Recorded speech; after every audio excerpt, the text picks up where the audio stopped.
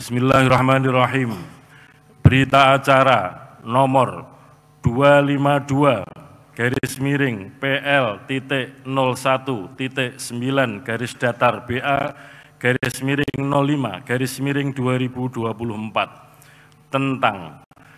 penetapan pasangan calon presiden dan wakil presiden terpilih dalam pemilihan umum tahun 2024 pada hari ini, Rabu, tanggal 24 bulan April tahun 2024, Komisi Pemilihan Umum melaksanakan sidang pleno penetapan pasangan calon presiden dan wakil presiden terpilih dalam pemilihan umum tahun 2024 bertempat di ruang sidang utama lantai 2 Kantor Komisi Pemilihan Umum Republik Indonesia Jalan Imam Bonjol nomor 29, Menteng, Jakarta Pusat, menetapkan satu Rincian perolehan suara sah per provinsi dan luar negeri berdasarkan keputusan Komisi Pemilihan Umum nomor 360 tahun 2024 tentang penetapan hasil pemilihan umum Presiden dan Wakil Presiden, anggota Dewan Perwakilan Rakyat, Dewan Perwakilan Daerah, Dewan Perwakilan Rakyat Daerah Provinsi, dan Dewan Perwakilan Rakyat Daerah Kabupaten Kota secara nasional dalam pemilihan umum tahun 2024. Sebagaimana tercantum dalam lampiran satu berita acara ini yang merupakan bagian tidak terpisahkan dari berita acara ini. Dua, rincian pemenuhan sebaran suara sah pasangan calon sebagaimana tercantum dalam lampiran dua berita acara yang merupakan bagian tidak terpisahkan dari berita acara ini.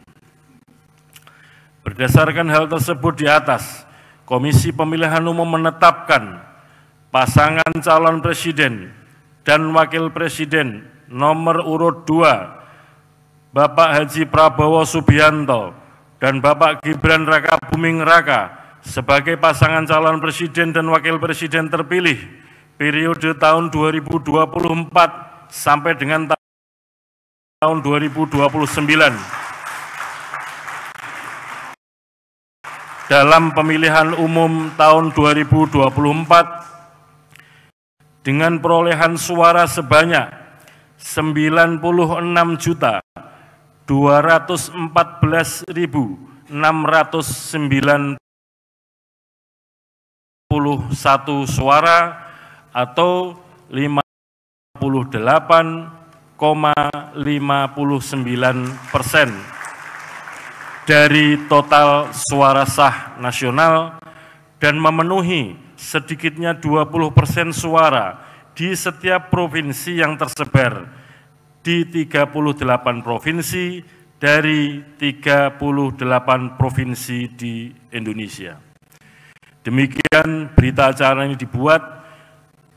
dalam 24 rangkap dan masing-masing rangkap ditandatangani oleh ketua dan anggota KPU.